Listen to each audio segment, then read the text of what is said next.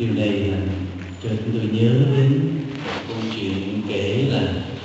khi Chúa Giêsu về trời thì các thiên thần tức là thiên thần Gabriel ra đón gặp Chúa Giêsu hỏi sao ngài về sớm vậy? Thì, thì xong rồi thì về chứ sao? Các thiên thần bảo chỉ đến mới có 33 năm mà là xong vậy. Thì thực sự đối với Thiên Chúa ngàn năm như một ngày cho nên ba năm không ăn vui gì cả. Thì Chúa Giêsu cũng giải thích thêm rằng, đúng thực thì nó ngắn, ta cũng muốn kéo dài thêm lâu lâu một tí, nhưng mà không được. Tuổi nó dữ quá nó giết ta nó đóng lên ra thập giá cho nên phải chết và phải lo về thôi chứ sao? Thì cái thiên thần nói, vậy thì kể như vậy là chúa thất bại hả? Ngài trả lời rằng ừ cũng có nhiều người nghĩ vậy. Để họ hỏi là chúa, như vậy thì chúa có tính kế hoạch gì khác nữa không? Ngài bảo, ta không tính kế hoạch gì hết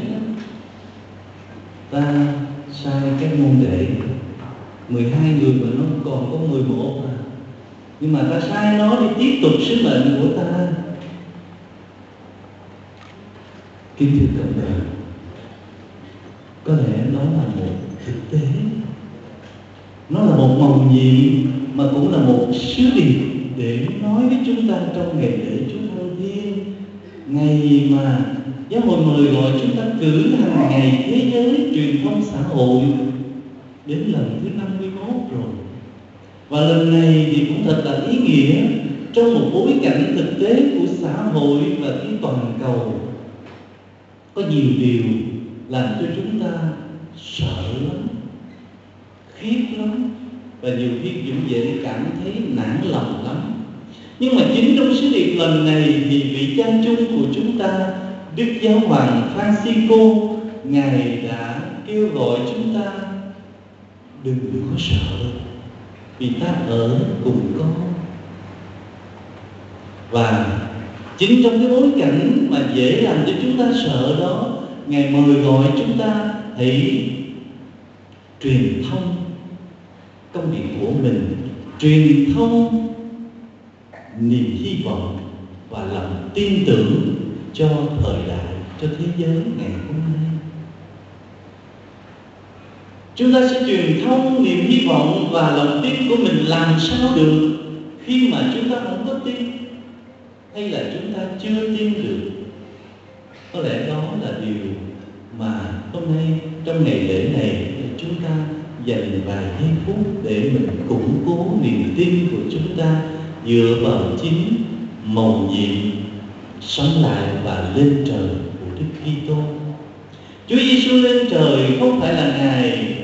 đi lên cái không gian bên trên và để rồi chúng ta chỉ muốn nhìn lên trời, để rồi tưởng nhớ, tưởng rồi nhớ lại những cái kỷ niệm xưa, nghe kể lại những câu chuyện cũ Ngài lên trời cũng không phải là để xa cách chúng ta Để lìa bỏ các môn đệ, Rồi trở nên xa xôi với chúng ta Để chỉ còn như một kỷ niệm. Trái lại Ngài lên trời là Ngài đi vào trong vinh quang của Thiên Chúa, Một cái vinh quang mà nó bao trùm lấy toàn thể vũ trụ Và toàn thể nhân loại này, Trong đó có chúng ta. Cái vũ trụ và nhân loại này Đang có rất nhiều điều đáng kinh đáng sợ, dễ làm cho chúng ta thất vọng, nản lòng, mất hết niềm tin. Chính trong cái thực tế này thì chúng ta được mời gọi để tin rằng Chúa Giêsu Chúa chúng ta là đấng, dù ngài có chết yếu, dù là ngài có chết sớm như là một sự thất bại, như lúc nãy cha Đức cha Phaolô nói, nó là một sự thất bại một trăm phần trăm nhưng mà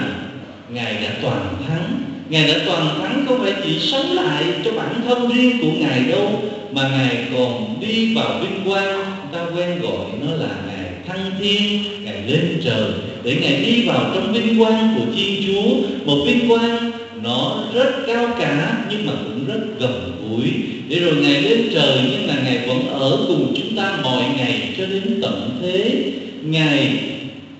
lên trời. Tức là ngài đi vào trong một cái khung trời không còn bị giới hạn ở một cái không gian nhỏ hẹp nào cả, không còn bị giới hạn trong một thời gian nào hết, mà là để ngài trở thành một thiên chúa của toàn thể vũ trụ này, một thiên chúa của cả trời và đất, thiên chúa của muôn loài muôn vật. Và ngài là chủ tể mọi sự. Ngài là đấng điều khiển lịch sử này cho nên chúng ta được mời gọi để tin rằng Chúa lên trời để rồi Ngài mở ra cho chúng ta một cái niềm hy vọng thật lớn rằng sự chết, những cái đau khổ và cả sự hung dữ của con người, của vũ trụ này, của ma quỷ không chiến thắng được Ngài. Ngài đã phục sinh sau cái chết thật bi thảm và Ngài đã đạt đến vinh quang để không gì có thể giữ Ngài lại, không gì có thể giới hạn Ngài lại. Để rồi Ngài có thể ở gần chúng ta, để Ngài có thể ủi an, khích lệ chúng ta rằng, đừng có sợ vì ta ở với con. Đừng có sợ bởi vì cái con đường mà đi theo Đức Kitô, con đường sống đời Kitô hữu, con đường chia sẻ sứ mạng, truyền thông của Ngài, đó là một cái con đường đạt tới vinh quang, một con đường mở về, một cái niềm hy vọng tràn trề và có thể gieo cái niềm tin tưởng vô biên, vô tận kính thưa cộng đoàn. Lẽ đó là điều mà hôm nay ngày lễ thăng thiên lại muốn nói với chúng ta. Và chúng ta cần cảm thấu được điều đó để chúng ta tin tin tưởng rằng Đức Kitô, Chúa chúng ta là một vị truyền thông thật tuyệt vời. Ngài không chỉ thông truyền cho chúng ta những cái lý thuyết về tin mừng, nhưng Ngài là chính tin mừng Ngài đã kinh qua cuộc đời trần thế như một cái con đường mở ra cho chúng ta một cái niềm hy vọng và niềm tin thật lớn lao. Và Ngài là chính niềm tin đấy, cuộc đời của Ngài với tất cả những cố gắng dấn thân cả cái sự hy sinh cái chết và sự phục sinh và thăng thiên của Ngài nữa đó là niềm hy vọng và niềm tin căn bản cho tất cả chúng ta chúng ta được mời gọi để tin điều đó. Và có lẽ hôm nay trong ngày bổn mạng của ban truyền thông của ba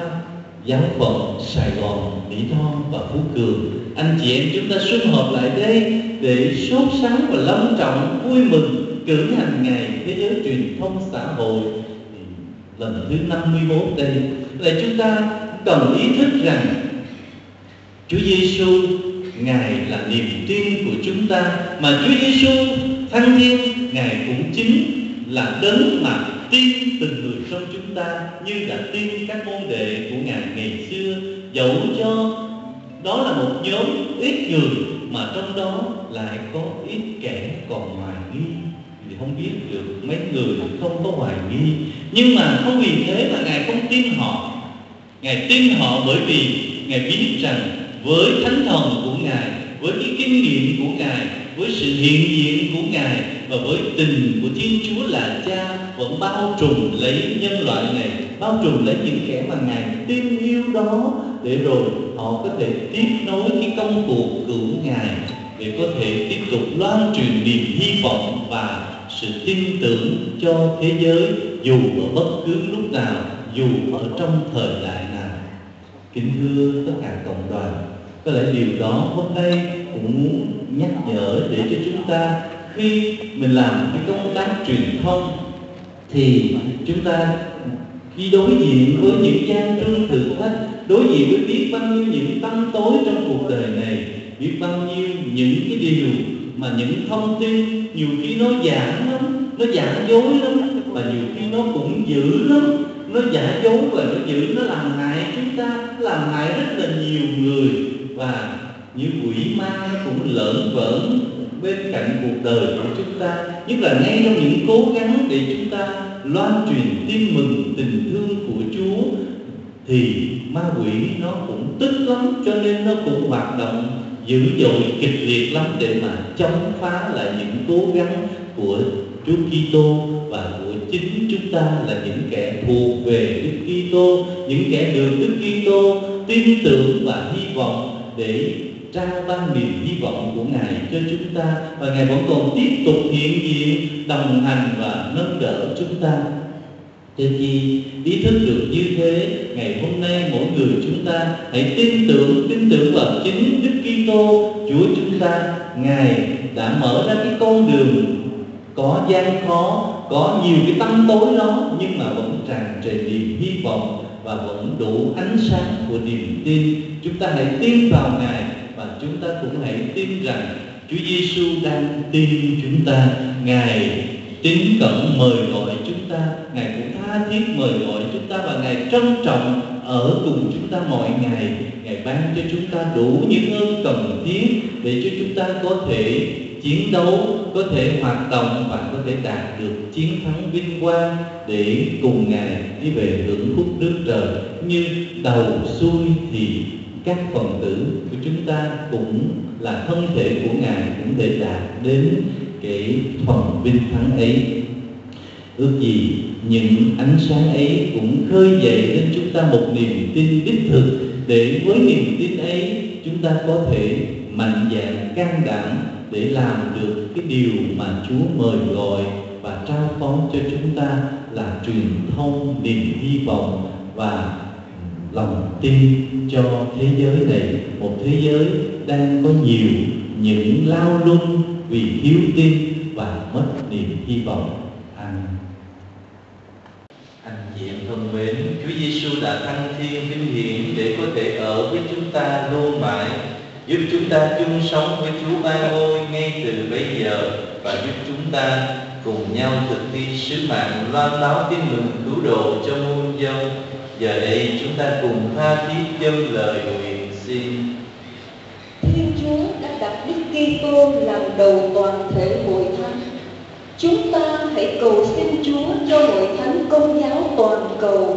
và hội thánh công giáo tại Việt Nam cách riêng cho Đức Giáo Hoàng Francisco, cho các hồng y, giám mục, linh mục, phó tế và các Kitô hữu luôn biết sống gắn bó mật thiết với Chúa Giêsu Kitô là thủ lãnh của mình. Chúng ta cùng cầu xin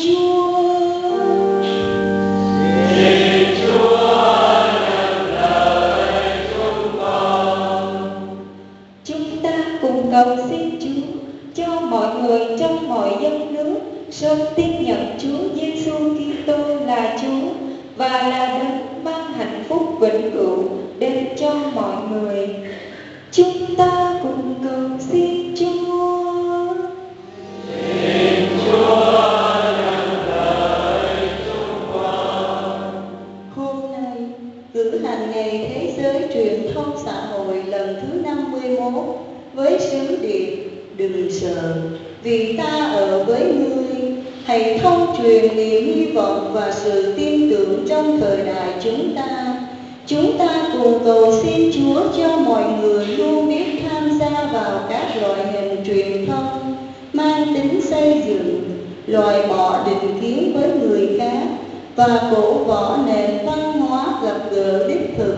hầu giúp mọi người nhìn thế giới xung quanh một cách thực tế và đầy tin tưởng. Chúng ta cùng cầu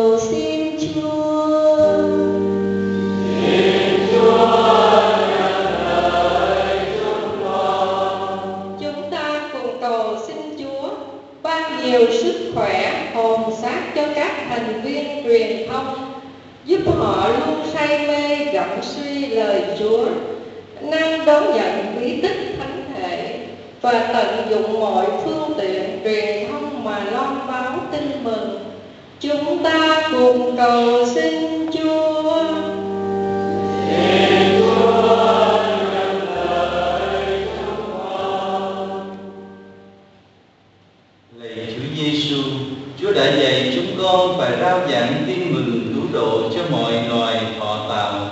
Xin Chúa giúp chúng con biết đón nhận ơn trợ giúp của Chúa Thánh Thần mà can đảm sống đức tin, sống niềm hy vọng của mình để thực thi việc loan truyền thông truyền thông tin mừng hầu mọi người luôn được sống trong tình yêu của Chúa.